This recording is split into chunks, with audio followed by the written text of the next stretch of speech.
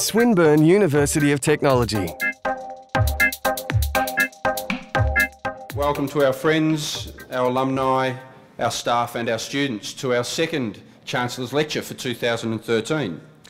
My name's Andrew Smith and I'd like to begin by acknowledging the traditional owners of this land, the people of the Kulin Nation, and to pay my respects to their elders past and present.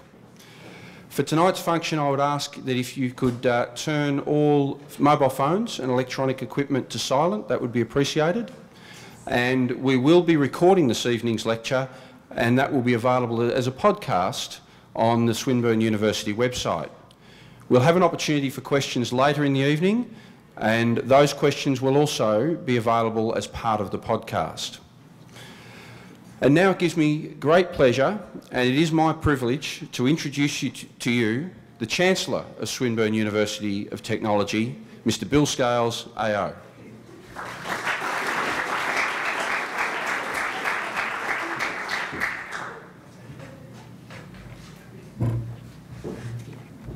Andrew, thank you very much for that, uh, for that introduction.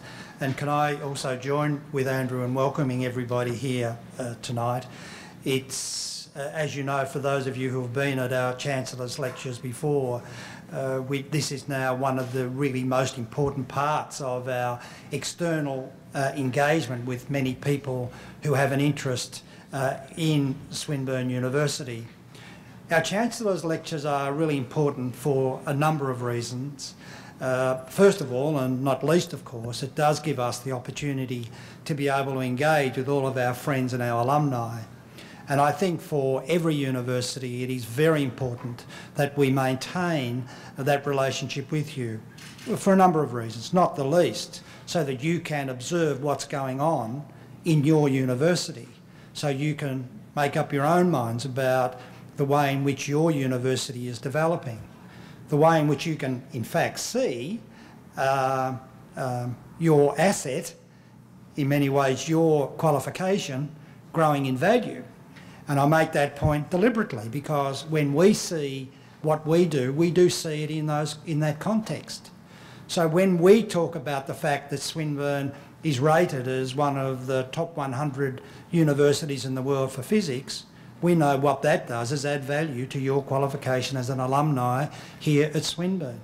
When we see ourselves as one of the top 400 universities in the world, given that there are over 13,000 universities in the world, again, we see that as offering an increased value to your qualification here at Swinburne.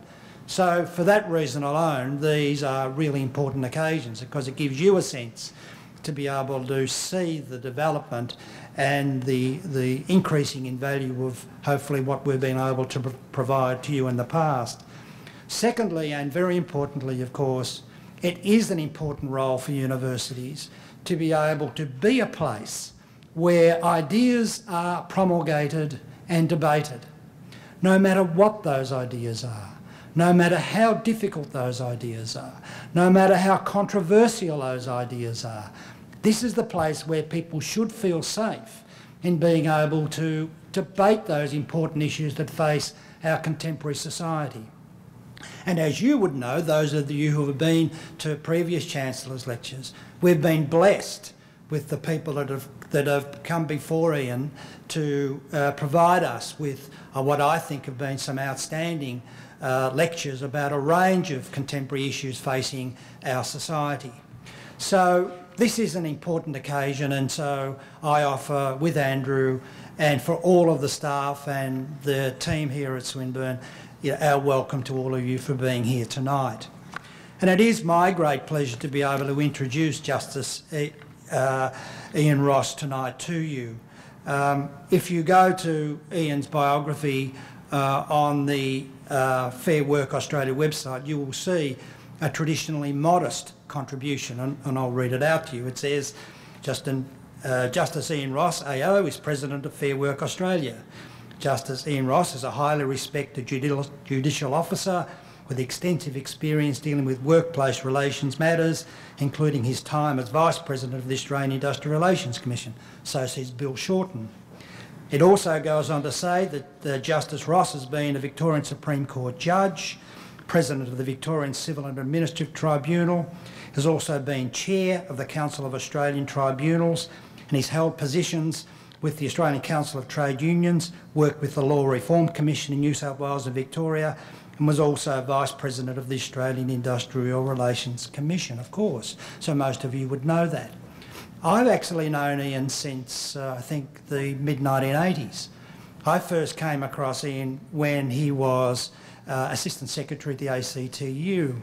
And along with many of what I would regard as, as some of our greatest leaders, uh, people like Bill Kelty, uh, people like Simon Crean, uh, and, many like him. Iain was one of those individuals who was at the centre of the substantial reform in Australian society which opened up Australian society to the world.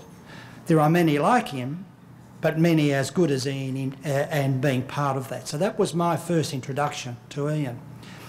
Over a period of time, I've, I've clearly watched Iain not only become an outstanding lawyer, but also become an outstanding judicial officer. Many people wouldn't understand the way in which he in fact has brought about substantial reform, for example, in VCAT. It's not sexy stuff to be able to say that somebody like Iain Ross has brought about the change at VCAT, VCAT which holds the individual officers within VCAT accountable for whether they meet particular targets. Difficult in, an, in a legal environment, but that's the sort of thing that you see Iain Ross doing. And similarly, for those that have been watching what's been going on within Fair Work Australia, he's bringing that same sense of discipline to Fair Work Australia. So it is my great pleasure to introduce Justice Iain Ross. Iain.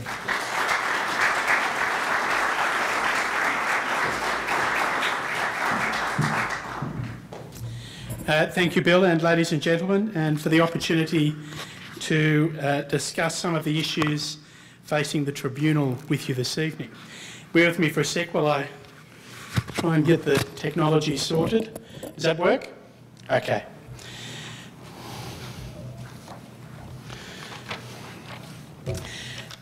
The focus of what I wanted to discuss this evening is the related concepts of accountability and public value.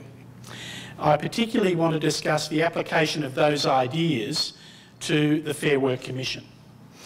Let me say something about the Commission first. Australia has had a national workplace relations tribunal for over a century. It's one of our key national institutions. Over time, the tribunal, currently known as the Fair Work Commission, has undergone many changes. Changes in its jurisdiction, its name, its functions and its structure. It's endured, I think, by successfully adapting to changes in its legislative environment and because it provides an independent, competent and professional dispute resolution service. But I firmly believe that past performance doesn't guarantee future survival. Even successful institutions have a tendency to decline unless they continue to innovate and adapt to changes in their environment. When I became President of the Tribunal in March last year, it was apparent that the Tribunal was facing a number of challenges. The number of challenges I hadn't quite appreciated when I became President, but I soon became aware of them. Um, it's interesting how you don't tend to focus on the media commentary about an organisation until you're part of it. And at that time, there was plenty of media commentary around VCAT, as there still is, and I was more focused on that than the debate around uh, what was then Fair Work Australia. Uh, over the previous 12 months or so, uh, the tribunal, then known as Fair Work Australia, had been subjected to sustained criticism. And these are some of the, my favourite headlines of the time. Um, and the criticism was about the time taken to complete the investigation into the Health Services Union. Now, this was an investigation that had everything. It had uh, a member of parliament in a minority government. It had uh, uh, allegations of credit card fraud, union money being used to pay for prostitutes, etc. And it is true that the investigations into the organisation were unprecedented in terms of their size and the complexity. But the inquiries and the subsequent investigations did take an unreasonably long time, raising legitimate questions. And justice institutions rely ultimately on public confidence and on the consent of the governed. There was an urgent need to repair the reputational damage to the tribunal, and the tribunal had to become more efficient and accountable. The Commission was also facing a significant shift in the nature of its work. The composition of our work had fundamentally changed from collective dispute resolution to individual dispute resolution. Um, what we see here is the fall, uh, you might not believe it if you were simply reading the papers, but the fall in industrial disputation over time. And disputation is now uh, generally associated with um, uh, the end of collective agreements. What this chart shows is the number of working days lost per thousand employees between 1988 and 2012. You can see that the average number of days has steadily declined throughout successive industrial relations regimes. Measured as working days lost, uh, the level of disputation that we've recently experienced is one-tenth of the level of disputation in the late 1980s. Now, collective dispute resolution will always be a core Commission function.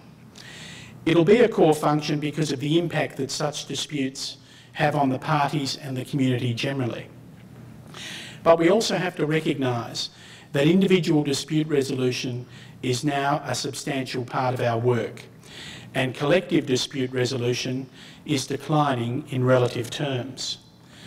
You can see here, as you see that red line going up, uh, the red bars measure the number of individual disputes. Put in simple terms, uh, in the 1998-99 uh, financial year, collective disputes were about two-thirds of the applications that came into the tribunal, one-third individual disputes. In the most recent year for which we've got data, 2011 and 12, that's reversed. Now two-thirds of our work is individually based. It's either adverse action claims, it's, uh, it's about unfair dismissal claims or individual grievances under collective agreements. Now, a couple of things flow from that shift in the nature of our work. The first concerns the nature of the parties. The parties to collective disputes, unions, employers and employer organisations, are what the literature refers to as repeat players. They're familiar with the legislative environment and they're familiar with our procedures. And we take some knowledge for granted. The parties to individual disputes are quite different. And they're referred to in the literature as one-shotters. That is, they only have one engagement with the tribunal and often it's their only engagement with the justice system as a whole. They're unfamiliar with our processes and they're unfamiliar with the relevant legislative provisions. They're often self-represented. And like any justice institution, we have an obligation to explain those matters to self-represented parties to ensure they get a fair hearing. The shift in the nature of our work also has implications for our stakeholder base we needed to engage with the community more generally rather than simply with registered organisations.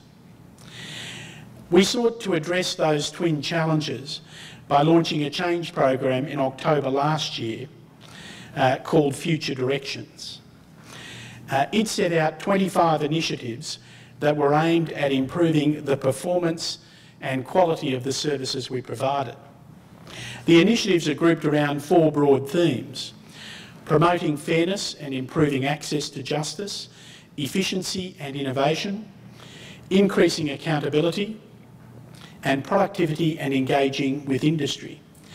We've issued two reports detailing our progress in implementing those 25 initiatives. in March and May this year. To date, we've implemented 20 of the 25 initiatives and the balance will be completed by the end of November this year. I want to turn to the measures we've introduced to increase accountability before discussing the idea or the concept of public value and what do I mean by it. So let's look first accountability more generally. And uh, this is something that applies not just to tribunals and justice institutions, uh, but to universities, uh, to the Reserve Bank, to all the institutions in our society. I think uh, we'd all generally agree that we live in an age that is accustomed to questioning all forms of authority. The community expects and demands more of its public institutions.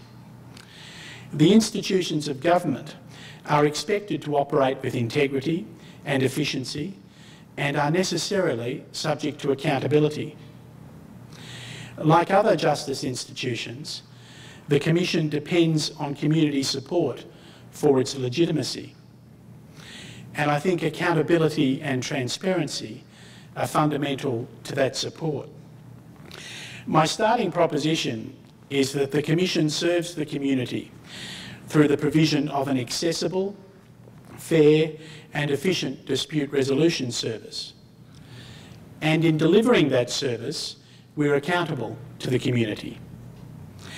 I would contend that public support for a justice institution, whether it be a tribunal or a court, can be enhanced through increased accountability and transparency and by engaging with the community. Accountability and independence should be seen as complementary ideas rather than antithetical.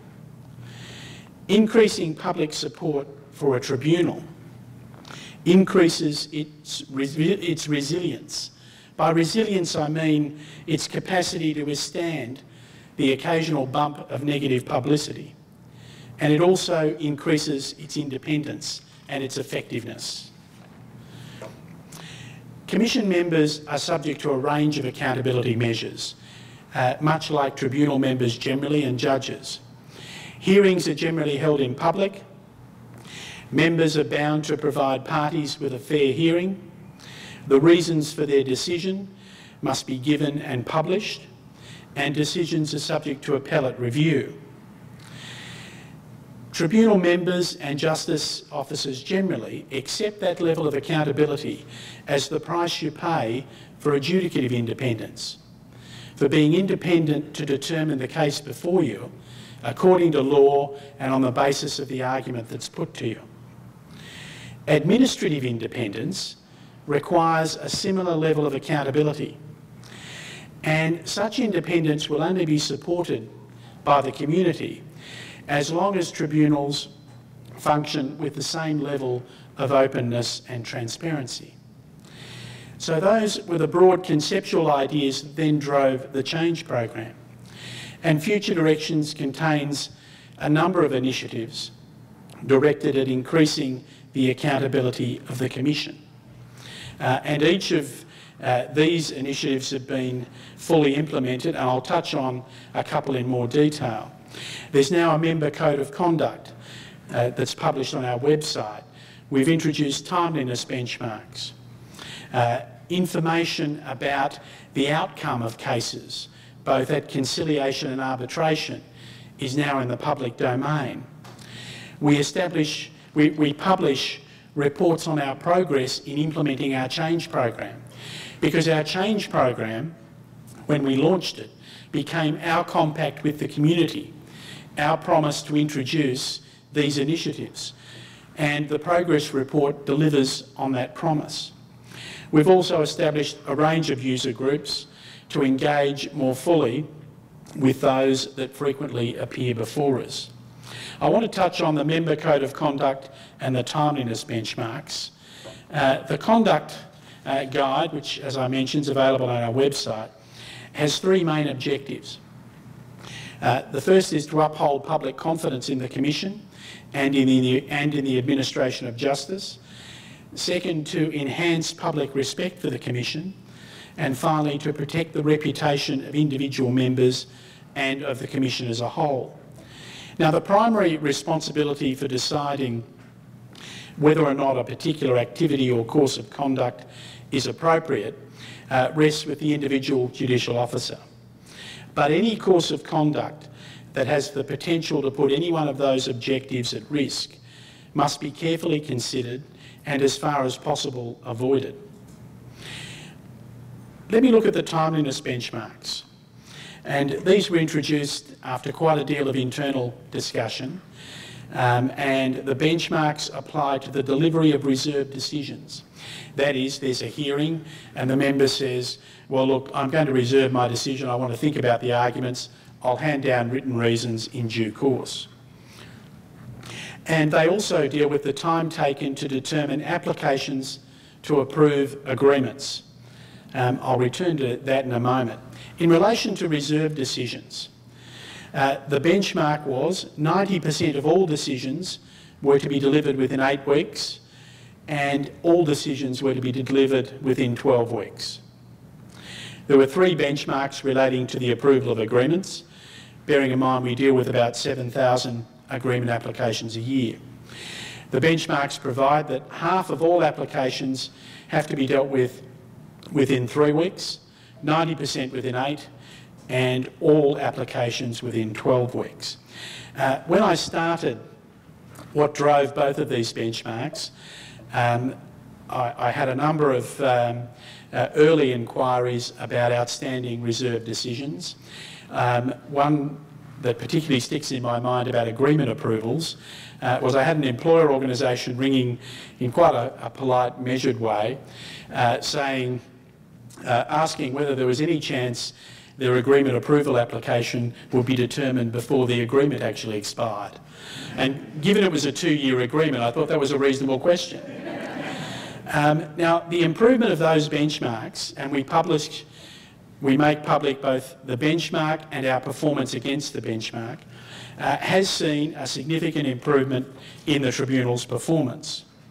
Um, in the 12 months to June, 30 June this year, 87.6% uh, of all reserved decisions were handed down within eight weeks, as opposed to the benchmark of 90%. If you look at the 12 months before the benchmark was introduced, uh, only just over 70% of agreements, of reserve decisions were handed down within eight weeks. And 14%, about one in seven, of reserve decisions took more than 12 weeks to hand down. Now, over 95% of all reserve decisions are handed down within 12 weeks. There's been a similar improvement in the time taken to approve agreements.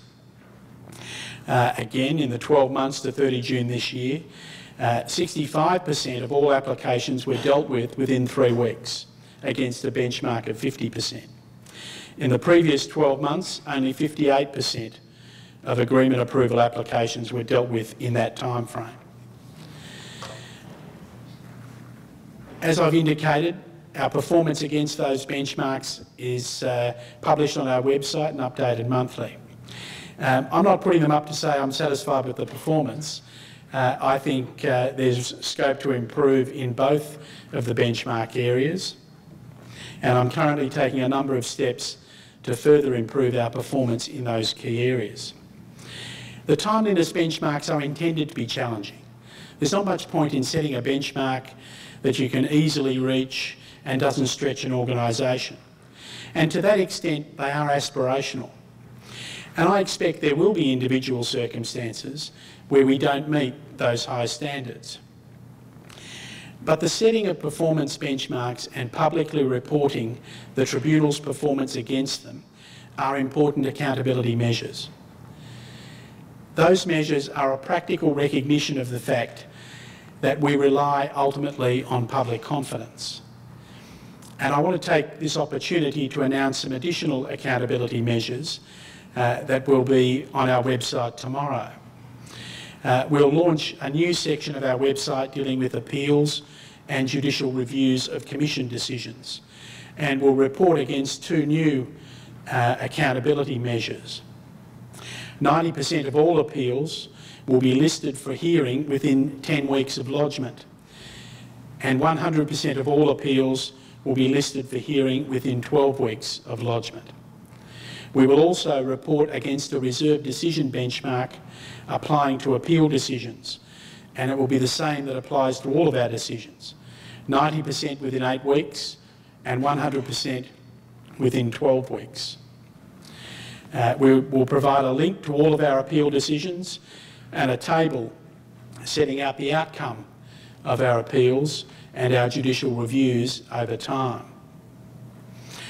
I want to now touch on the, the broader issue of public value. In the private sector, the aim of management is, broadly speaking, uh, to make money for the shareholders.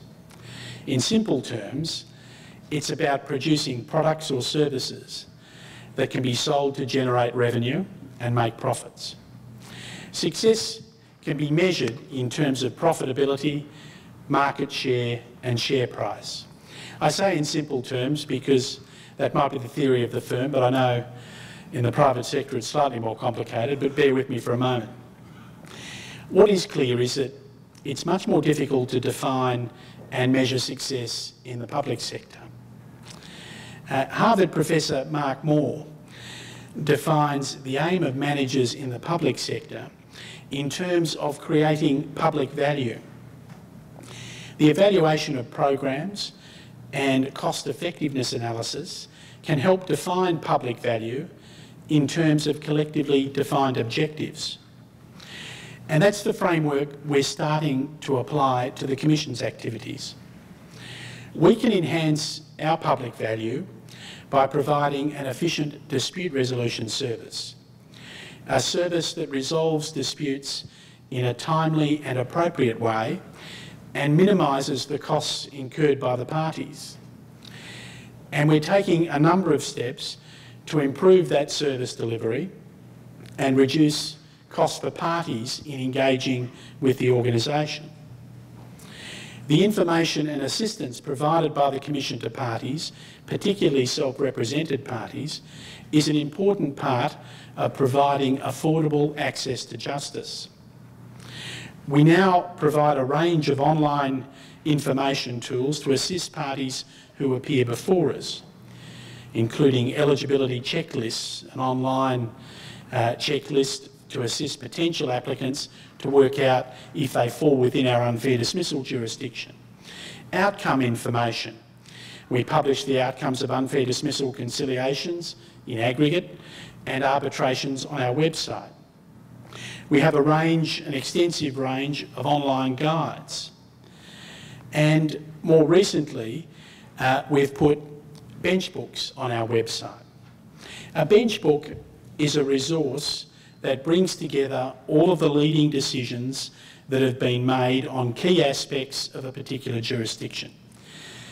They're resources that are widely used by judges and tribunal members in a range of courts and tribunals, uh, but they're not often published.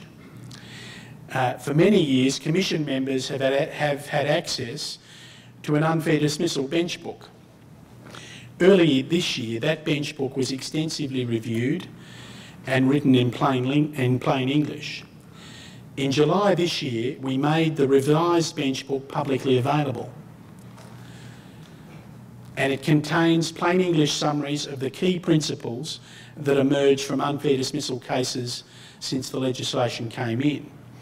The bench book will assist both applicants and respondents to prepare their case before the Commission. Access to justice can also be enhanced by facilitating access to pro bono legal services. The provision of timely legal advice can promote efficiency by focusing the proceedings on the real issues in dispute. In some instances, it may also lead a party to discontinue an application because there is another, more appropriate forum in which to address their grievance. For the past 12 months, we've supported a pilot program in Western Australia to assist self-represented applicants who have lodged a claim alleging that their employer has taken adverse action against them. Those applicants were referred to the Employment Law Centre of Western Australia to obtain some short, focused legal advice. The results of the pilot have been encouraging. This form of triaging is important because it ensures that parties pursue their claim in the appropriate jurisdiction and it discourages unmeritorious claims. It benefits applicants, respondents and the tribunal. Uh, a copy of um, the evaluation report is available on our website. The method we've used there to pilot, to evaluate externally and then to implement what works is one that we're applying across all of our change initiatives.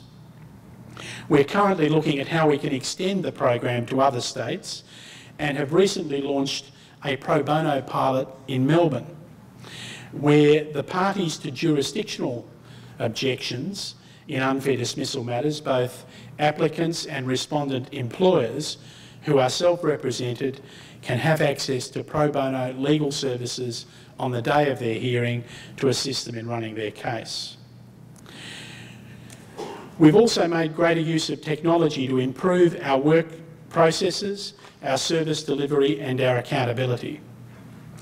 We intend to move to smart online application forms where the information entered can be automatically uploaded into our case management system. I want to touch on two technology-driven innovations which are worth mentioning.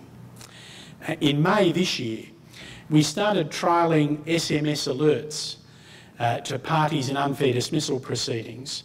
The alerts are sent to parties 24 hours before their scheduled proceeding. The objective is to reduce the number of adjournments which occur because a party's simply forgotten that it's their schedule to participate in a conference or a hearing. And bearing in mind we're dealing with a large proportion of self-represented parties and they've got a range of other things on their mind, the hearing notice goes out often uh, uh, many weeks ahead of the hearing or the conference and they simply forget. If we can reduce the number of adjournments that occur as a result of a party not turning up, then we can reduce the transaction costs and the inconvenience for parties and deliver a more efficient service. In July this year, uh, we introduced the smartphone app, which provides users with a quick, with quick and easy access to our daily hearing lists. The app can be downloaded from our website.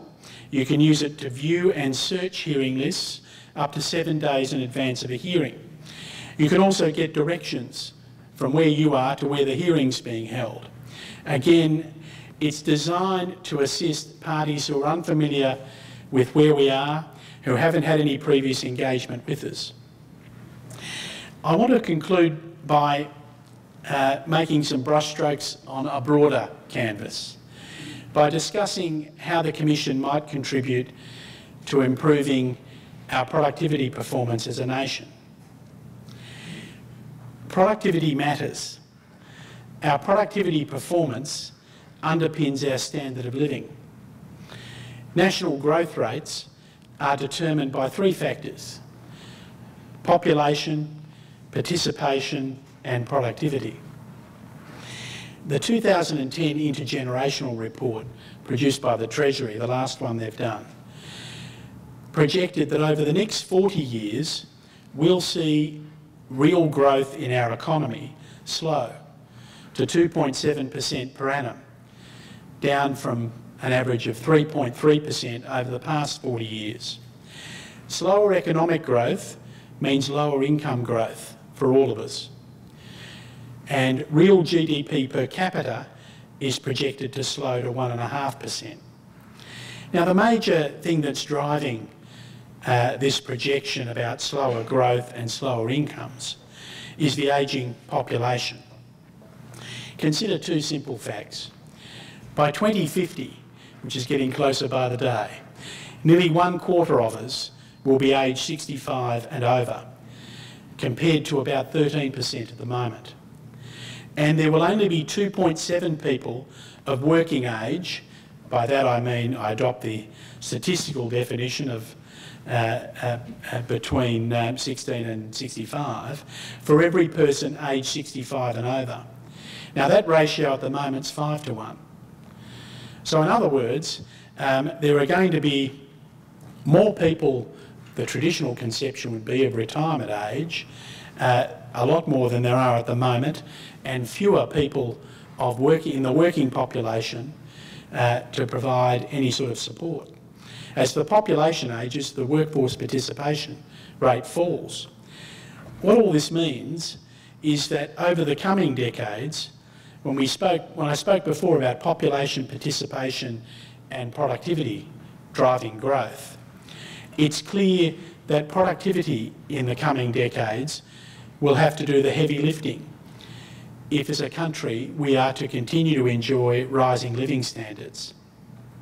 The point's probably made clear by this chart.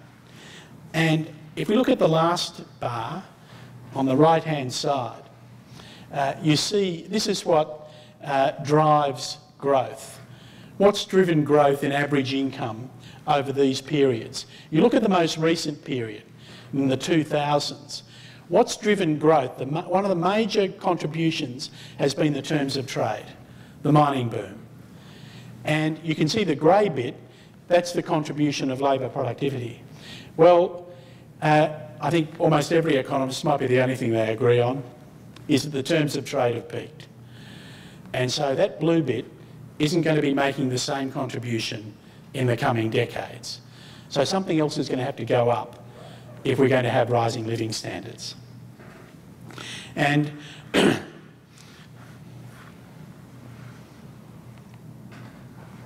the challenge is that our productivity performance, however measured, has declined substantially since the late 1990s. Now, while the precise causes are the subject of ongoing debate, I think the real issue is what's to be done about it. And public policy settings and institutional support can facilitate productivity growth because they affect the environment in which business operates. But the key to improving productivity lies at the workplace level. And the Commission is committed to the development of a new workplace engagement strategy in consultation with the major peak employer and union bodies.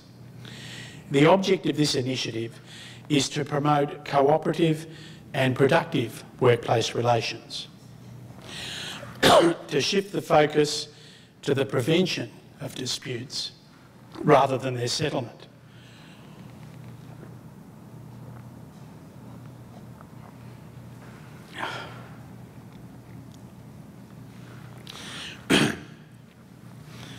I knew my throat would go at some point. The object of this initiative um, is to promote cooperative and productive workplace relations. The development of a more cooperative workplace culture that facilitates change and fosters innovation will be at the heart of our engagement strategy. Many factors impact on productivity and competitiveness. The skills of our workforce, infrastructure, taxation, the general regulatory environment, participation and the capacity for enterprises to successfully innovate. By facilitating more cooperative relationships, we can assist the industrial parties to find common ground in at least some of these areas. And we've already taken a number of steps in this regard. ACCI, AI Group and the ACTU have committed to working collaboratively with the Commission in a consultative way that will oversee the Tribunal's engagement strategy. In August this year, I set up a workplace engagement team led by Vice President Catanzariti to further develop our strategy for promoting cooperative and productive workplaces. The project team will report back to me in October this year. The development of our engagement strategy will be transparent and will be done in consultation with the key industry peak bodies, the members of the Commission and the community we serve. Our engagement strategy won't be a panacea for the productivity challenge that faces us as a nation, but each public institution must play its part. The implementation of the, thank you very much, of the 25 initiatives set out in our Future Directions Change Program will be a major achievement for the organisation. It's a testament to the hard work and commitment of our staff, members and our stakeholders. But the implementation of these initiatives marks a beginning rather than an end. We are intent on improving our performance across the range of our statutory functions. As we complete this phase of our change program, we will begin a consultation process that will develop the set of initiatives we will implement over the next two years. These initiatives will be directed at enhancing the public value of our organisation. I look forward to your contribution to that process and to your support in making a great institution better. Thank you very much.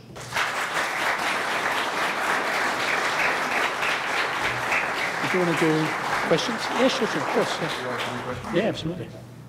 Uh, we do have an opportunity to take some questions from the audience. Could you please, uh, we have some microphones, so please wait until we're able to get a microphone to you. Uh, and if you could uh, state your name, uh, that would be helpful. Thank you.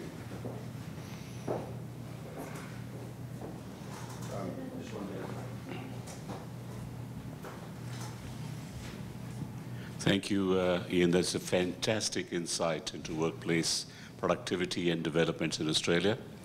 Uh, I, had a, I had a thought, and the thought was that clearly there is a need to improve productivity, right? Uh, I wonder what is the relationship between the, the increase in productivity and upskilling of the workforce? Oh, I think um, there's, a, there's a substantial uh, relationship between the increase in improvement in skills and the utilisation of those skills in practice uh, and productivity. Uh, I think if you look at the drivers, it is around education and upskilling and around the introduction of technological change and changing work processes. And I think that's why we've seen um, a shift around the world and more of a focus on both early childhood education, primary, secondary and tertiary education because ultimately that's what's going to drive performance. Um, we're, we're not in, a, in the space where we can compete uh, on making widgets. Uh, we don't have uh, the volume, we don't have the economies of scale to compete in that area. So if you take manufacturing as an example, we have to compete in smart manufacturing.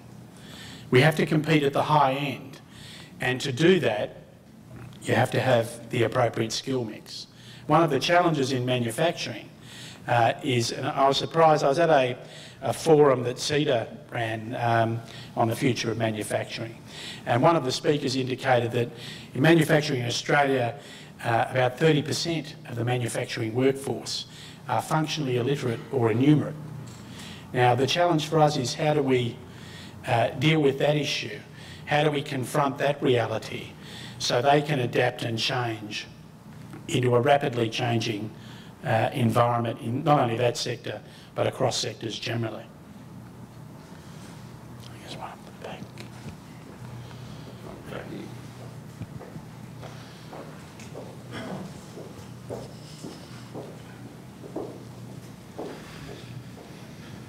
Um, my name is Peter Harkness. I'm an academic member of the business faculty here uh, and also secretary of the Swinburne branch of the National Tertiary Education Union.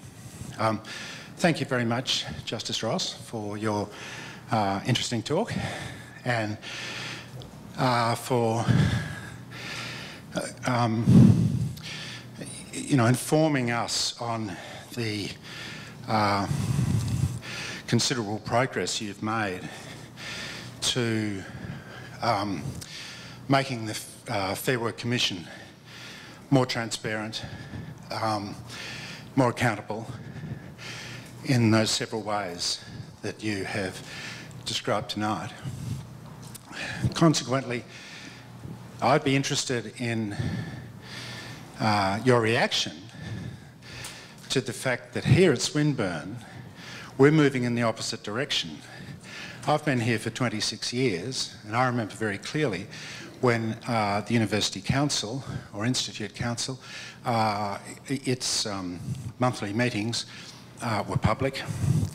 Um, uh, there was a public gallery. Um, its agenda and minutes were public. There were representatives of academic staff uh, and non-academic staff. And I'm just wondering what your reaction is to me telling you, which is the case, that in just the last um, few years, all of these things have gone. Um, under our current Chancellor and Vice-Chancellor, the meetings are now uh, in camera. There's no public gallery. No one can go to the meetings. We don't know what the agenda is. We don't know what the decisions are. The minutes are confidential. Um, do you agree that this is um, a case of one public institution, namely this university, heading in a very different direction to what you have described uh, as the direction that the Fair Work Commission is heading in tonight? Thank you. Um, I've been a judicial officer now for nearly um, 25 years, and the one thing I've um, learnt over that period is not to make a decision when you've only heard one half of the argument. Um, and I, I, don't think I'm in any position uh, to comment on the governance arrangements or uh, how matters are approached uh, at Swinburne. Um, uh, I, can, I can only comment with any authority on our own uh, governance arrangements and our own accountability measures. And I think from our perspective, uh, I think we've got uh, some way to go. as I mentioned before, I think it's the change measures we've introduced are important, but they're a beginning, not an end. And we are in a stage of transitioning into a more efficient uh, and uh, transparent organisation. But I wouldn't want to leave you with the impression that, that I have the view that we're at the end point at the moment.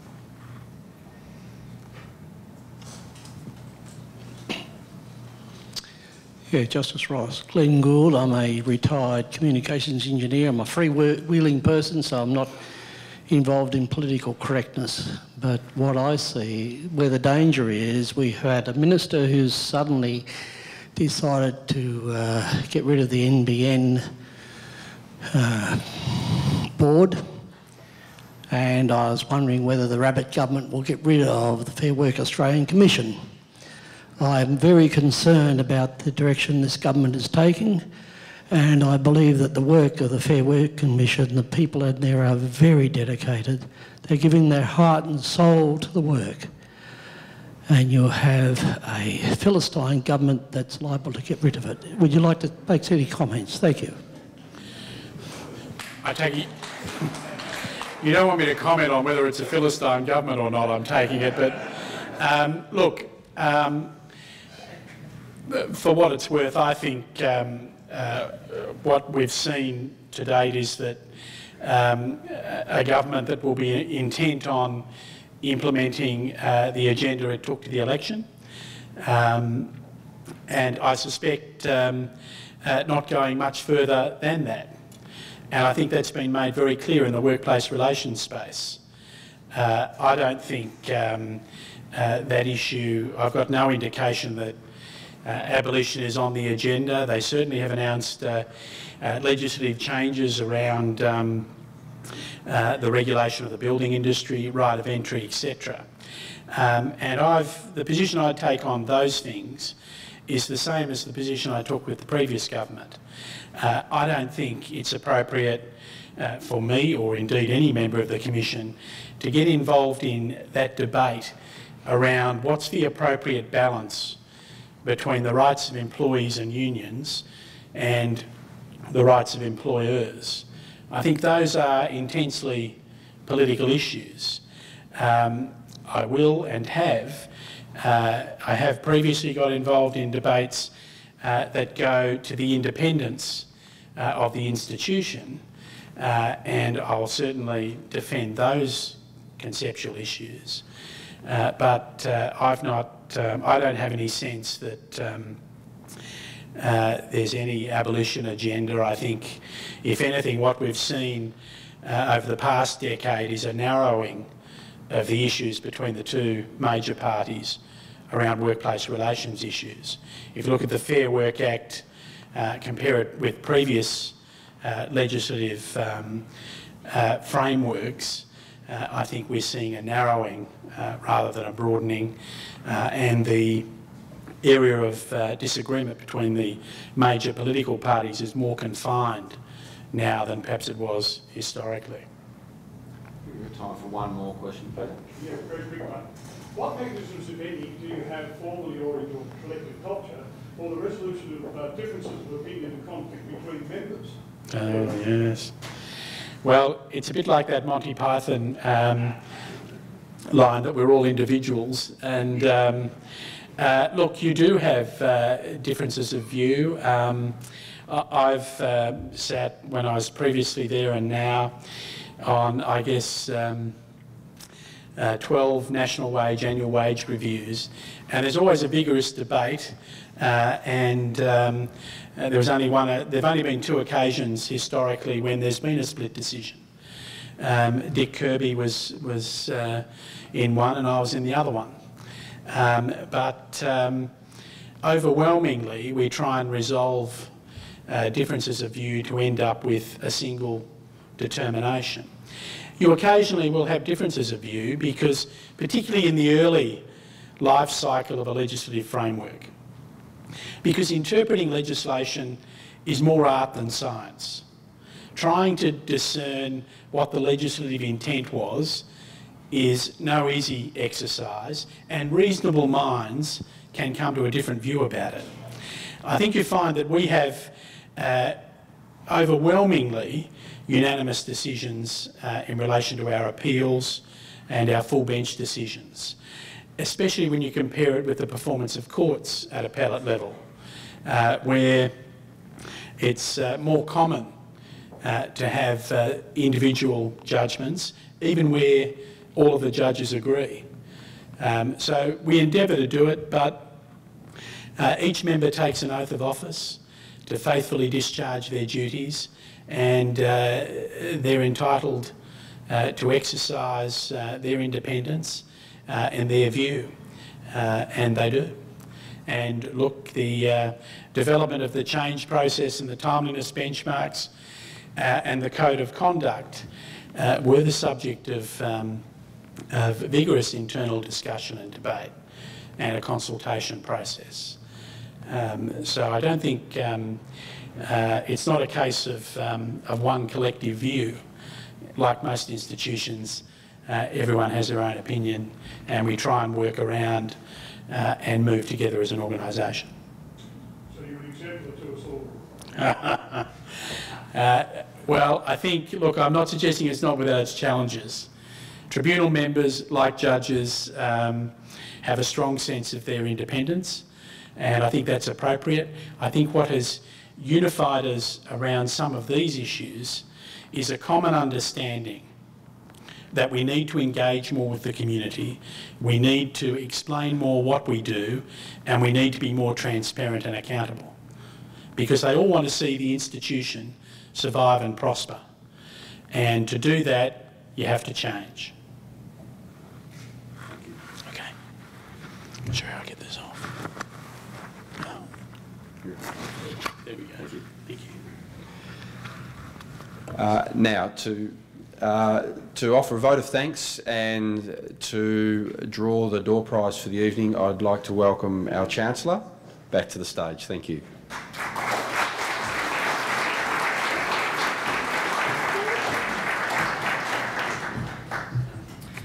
I, I suspect you might all be here for the door prize. That's the. That's a, no, I'm, I'm, I'm actually joking about that. Uh, uh, Iain, thank you very much for, I think, what was uh, both an inspiring and an illuminating address. Uh, I think what we've observed tonight is something that is in fact quite rare in a judicial context, and that is uh, the head of a judicial uh, broad community making it very clear that those within that judicial environment uh, have to be accountable in the same way that all of us are for our actions, and that's a rare thing. And I don't think we should discount what that actually means and the the effort that that uh, that Iain uh, has had to bring to be able to uh, bring those sorts of reforms into the Fair Work Commission. I think the other thing that we have heard tonight is something that we all should be encouraged by, and that is the way in which the Commission itself is arguing that not only should it be efficient, but it, uh, in addition to that, he's actually arguing that it, it, has an important role in Australia's ongoing uh, productivity debate and effort. And I think in, in that sense, we're seeing something, again, quite revolutionary. And so, again, I don't think we should discount that. So, Iain, can I thank you very much for being so open with us, for being um, so prepared, I think, to strengthen this institution. We can argue, as you quite rightly said, the extent to which there should be various sorts of labour law, but what we will not argue, I don't suspect, is there ought to be labour law. And the way by which that is applied, I think, is quite frankly in excellent hands. So, Iain, on behalf of everybody here tonight, can I thank you for giving us an outstanding address? And in that regard, can I give you a small presentation on behalf of us all?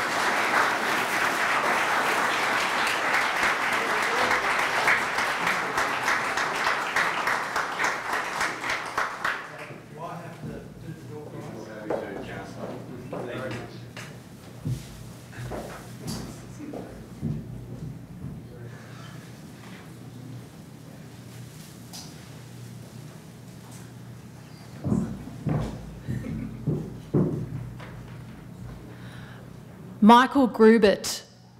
Are you here, Michael? Congratulations.